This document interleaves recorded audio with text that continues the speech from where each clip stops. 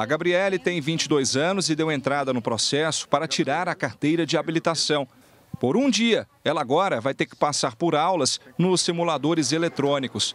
Eu acredito que falta muita informação, porque é, às vezes a gente vê no site, na televisão, mas eles não informam como é que vai ser, como que a gente vai pegar essas aulas. A exigência já era para ter começado no dia 1 de janeiro do ano passado, mas uma decisão judicial adiou a implantação em Goiás.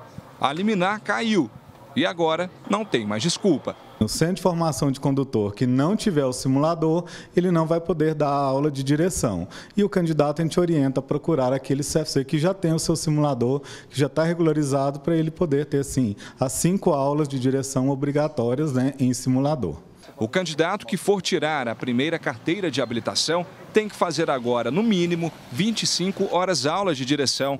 20 são no veículo e 5 em simuladores de direção como este, Ronildo é dono de autoescola e acredita que o equipamento ajuda na formação do motorista. Esse aparelho vai, vai simular as situações adversas que você não encontraria normalmente, né? Acoplanagem, alcoolemia. Acoplanagem, alcoolemia, é, serração, neblina, né?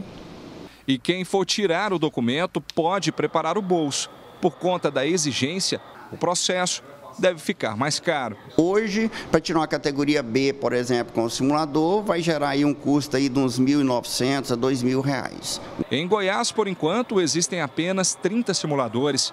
Então, a autoescola que ainda não possui o equipamento deve correr, porque os primeiros candidatos, em breve, já vão precisar passar pelas aulas para obter a CNH. Aquele que for abrir o processo de habilitação da primeira via, ele ainda tem essa escala, né, esse tempo ainda aí mais ou menos de um mês e meio até chegar à sua aula de direção. Né, para passar todo o processo até a aula de direção ainda tem esse prazo ainda.